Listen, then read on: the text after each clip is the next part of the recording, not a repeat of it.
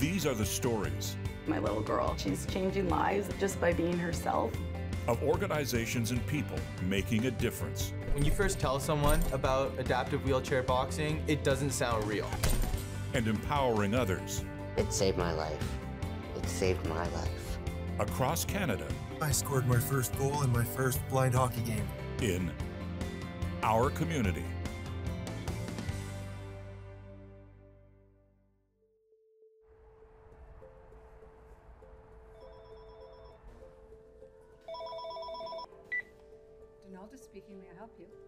My name is Donalda Jones. I'm the mother of three.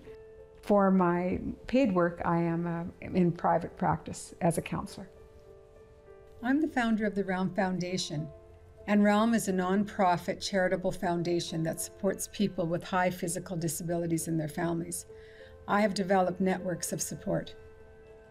The seed for the Realm Foundation was planted when my son Stephen was diagnosed with Duchenne's muscular dystrophy.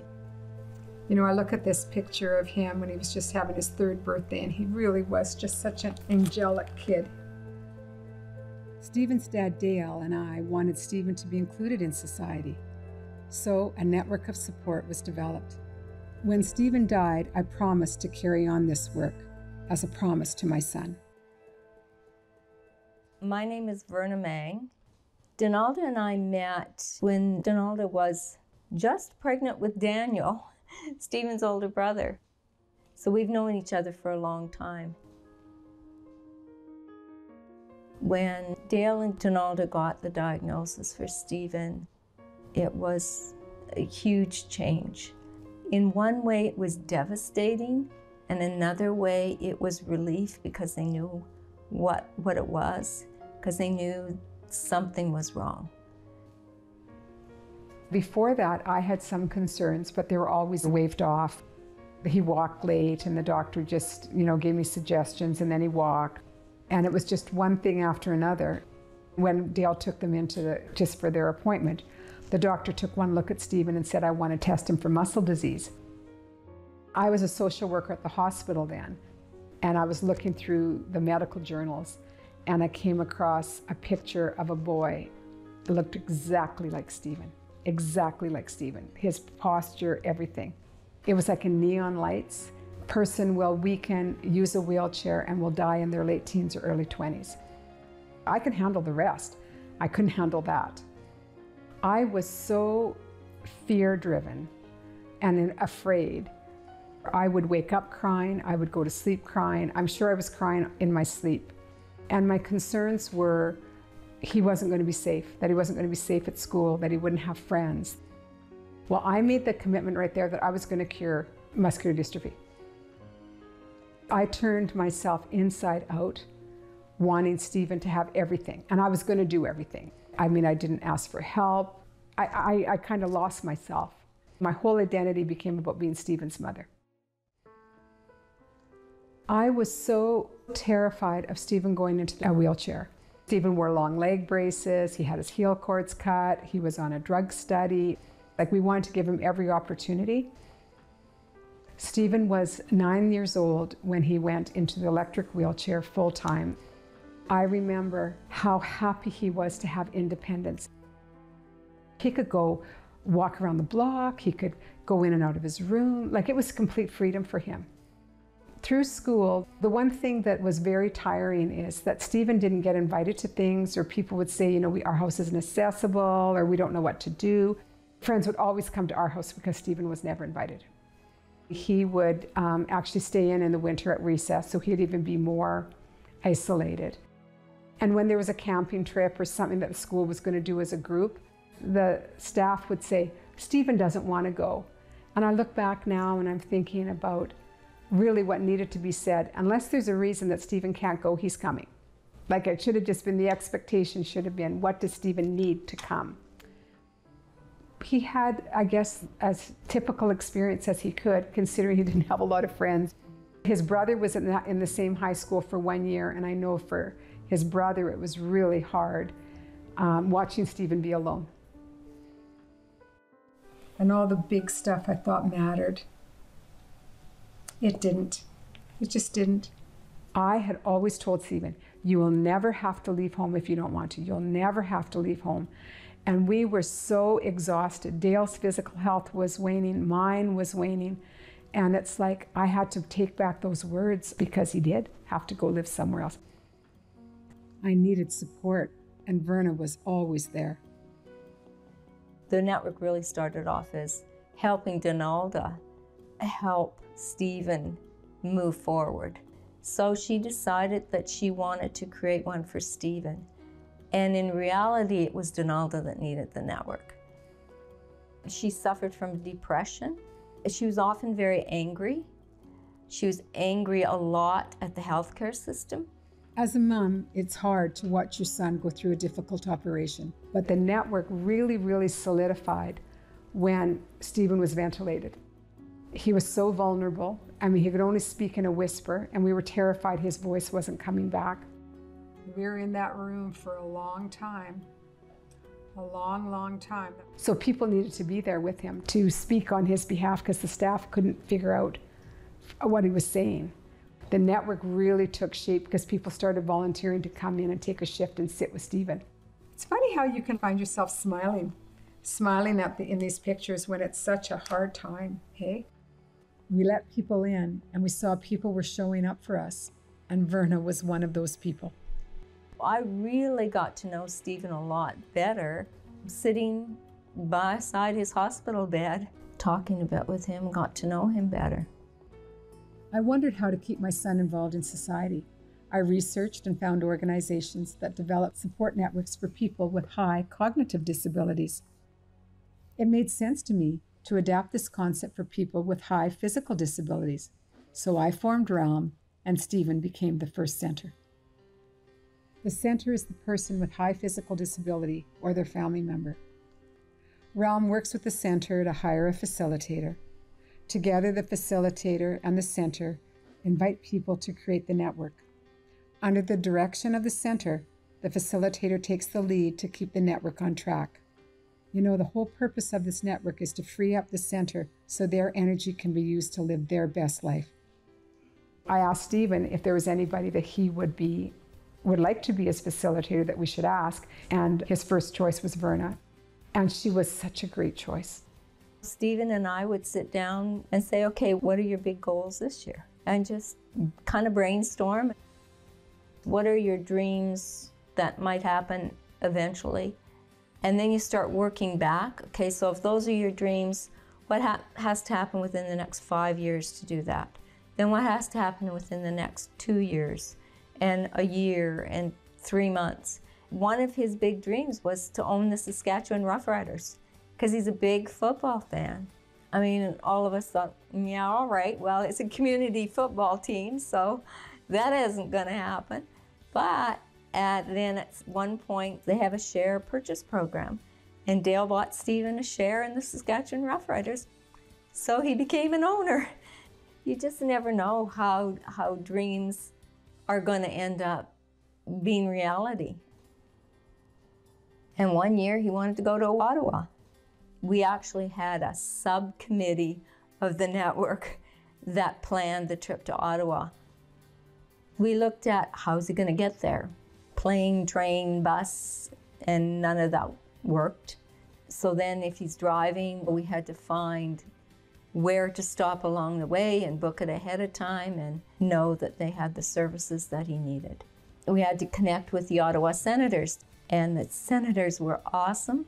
They gave him tickets free in the box. As Stephen's mother, I was so pleased everything was coming together. Verna really understood his aspirations. I mean, it was just like one miracle after the other, all because of the network and everything that they did. And Verna and the network arranged so many things for Stephen. I can't thank them enough. And sometimes it was little things. Stephen's birthday was really important to him. I love looking at this photo album of my son's birthdays. All his attendants they weren't even working with him anymore, but they came for the party. Every year he had a steak night at a restaurant, sold tickets, had silent auction, and all the money he raised went to Telemiracle. Like Stephen was the decision maker, what we did was what he agreed to or wanted to do. His parents were allowed to be parents rather than caregivers. For me, it was that Stephen had a life. I went back and got my master's. Without Vern and the network, none of this could be possible. Realm started because Donalda saw how beneficial this network was for Stephen, and she wanted this to be available to everybody who has high physical disabilities. She just had this vision that she could do something that would help all kinds of people. She brought groups of people together to bounce this idea off of people about what she wanted to do. And it was her vision. I was just there to document and make it happen. Our community will return after the break.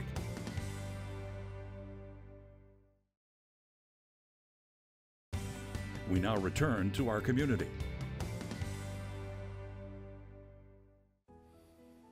My name's Justin Rayner. I grew up as a, a, pretty active kid. I played a lot of sports growing up, but hockey was really my main passion. Yeah, when I was 13, we were uh, on a road trip to uh, Hodgeville, up two to one, I think, in the in the second period, and um, I ended up getting a breakaway and uh, kind of lost my balance, lost an edge, and went into the boards head first. I've been paralyzed since then for going on 17 years. I had a neurosurgeon tell me your hockey career is kind of over. At that time, I kind of felt like my entire life was over. Becoming paralyzed and going from a really good athlete that was always picked first in gym class for things and to going to a body that I, ca- I can't do anything with was really, really tough on my uh, self-confidence and, and self-image. I was in a really, really dark place for two to three years where I just wanted to die all the time and I didn't feel confident in my own being. I didn't feel confident being in a wheelchair. I wouldn't go out to eat with my family. I felt judged all the time. It was a really tough few first few years to transition to life in a wheelchair. Being in rehab at Wascana allowed me the privilege to meet a lot of people that were either involved in in the disability community, which is where I met Donalda. Her son had was living there in the long-term facility. She's a very motivating and accepting person and she um, is very big in into like not settling for anything and just go after what you want and your life can be amazing. I joined Realm because I need to get something happening in my life, something needs to change.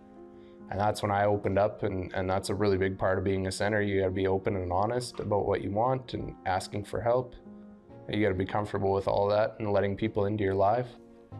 My goals were really to get graduated from high school, possibly go to college or to find employment, which were huge, insurmountable goals at the time in my mind. Um, I really didn't know where to start. I was lucky I surrounded myself with a lot of older people. They had been through lots of life stuff that I had never experienced and uh, were able to guide me through that transition from like teenage years to early 20s, which was a really difficult time for me because I was kind of lost at sea I actually accomplished all the goals. I ended up graduating high school, ended up getting a certificate in web design, web development.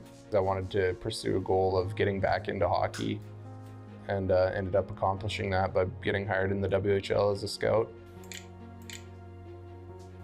I used skills that my network had taught me before, how to build a resume, how to conduct an interview,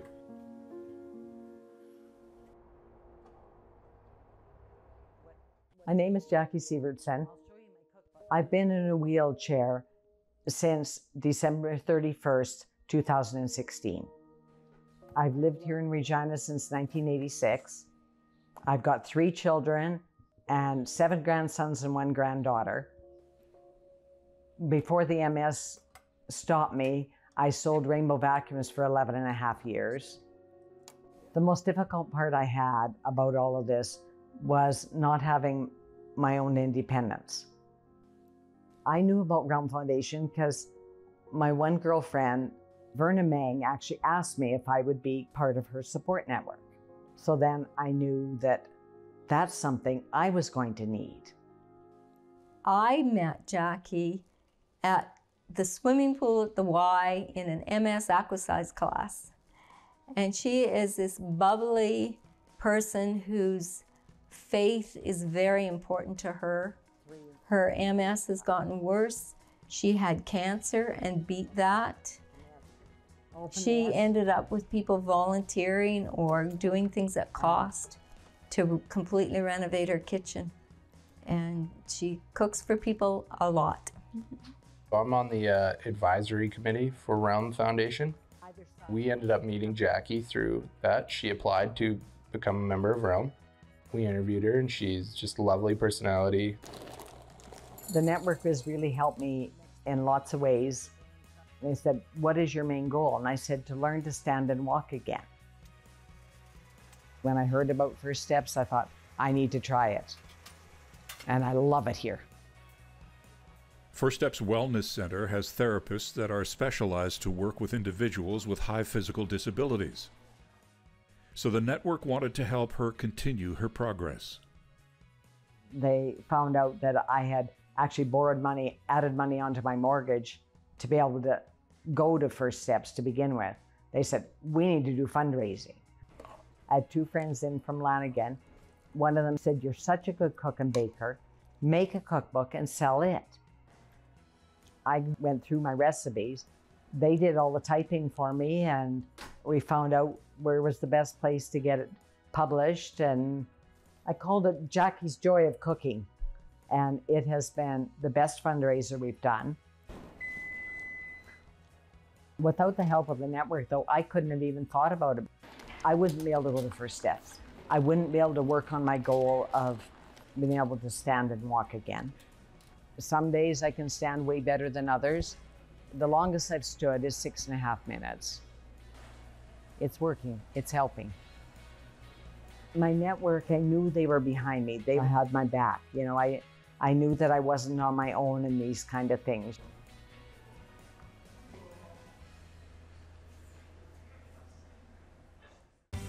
Our community will return after the break.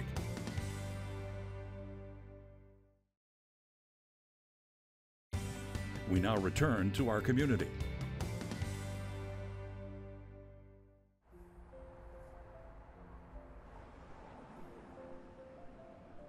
My name is Amanda Mees.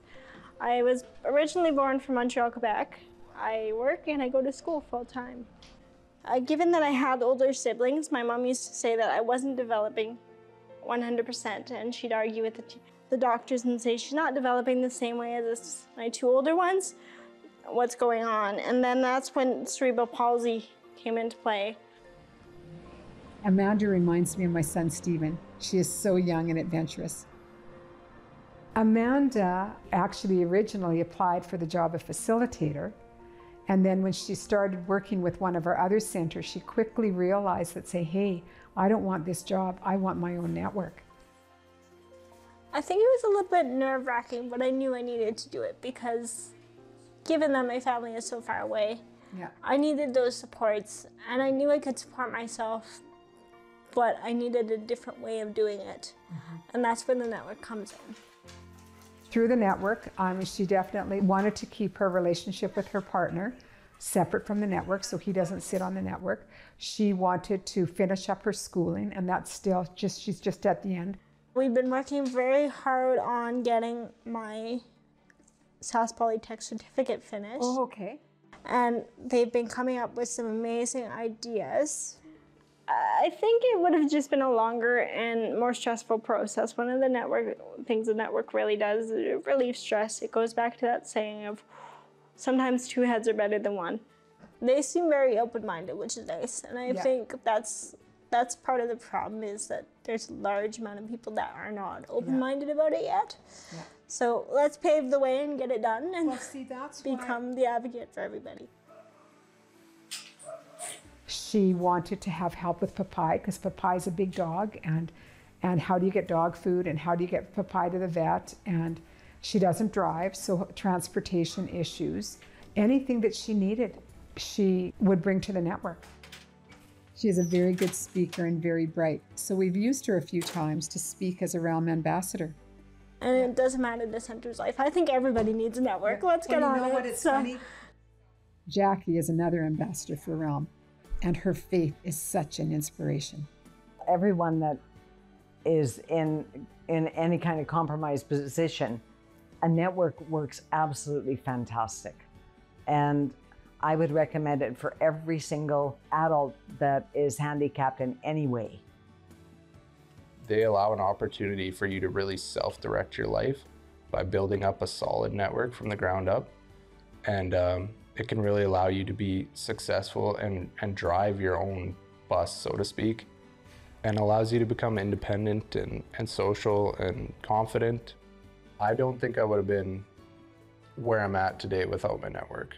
They helped me during a time in my life when I was kind of lost and uh, not sure where I wanted to go in life. They kind of helped steer the ship while I wasn't sure where I wanted to go. I definitely don't think I'd be successful in life without without having my network around to help me out. Stephen died June 21, 2016. He was 31 years old. This young man at 31, he had a full life. And the very last comment I made when I was speaking at Stephen's memorial was, and I will share Stephen's, the lessons that Stephen taught me with anyone who will listen. And here I am, just continuing on that journey because I know it works. Networks work. That's what I know. People being there for other people absolutely works. Inclusion works. Producers Lori Kuffner, Judith Silverthorne. Director Lori Kuffner. Writers Lori Kuffner, Judith Silverthorne. Researcher Lori Kuffner. Director of Photography Tony Quinones. Production Coordinator Judith Silverthorne. Production Assistant Judith Silverthorne. Editor Sound Mix Trevor Aikman. Still Photography Judith Silverthorne, Linda McDowell. Special thanks First Steps Wellness Center, Taylor Halverson, Brittany Hoff, Andy Schmidt, Realm Foundation, Regina Leader Post, The Ottawa Senators. Narrator Jim Van Horn. Integrated Describe Video Specialist Simone Cupid. Graphics Andrew Antonello. Content Development Specialist Jim Crisco. Coordinating Producer Jennifer Johnson. Director of Production Kara Nye. Director of Programming Brian Perdue. VP Content Development and Programming John Melville. President and CEO David Errington. Cooper Rock Pictures Inc. Silverlight Productions Inc. Copyright 2021 Accessible Media Inc.